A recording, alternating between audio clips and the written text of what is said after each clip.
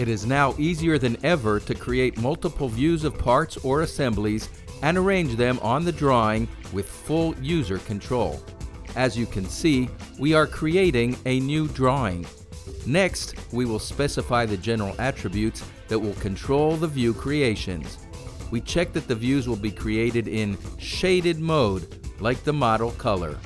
Now, we'll create a new multi-view and open a Cimatron model, in this case, a mold core plate. Once loaded, we can select which views to show.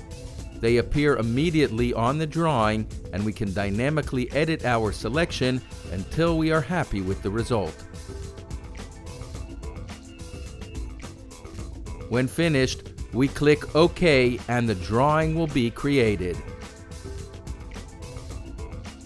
At this stage, the user can edit the drawing, reposition views dynamically, or control each view individually according to its specific attributes. In short, the new multi-view creation is both easy and intuitive, saving time and hassle.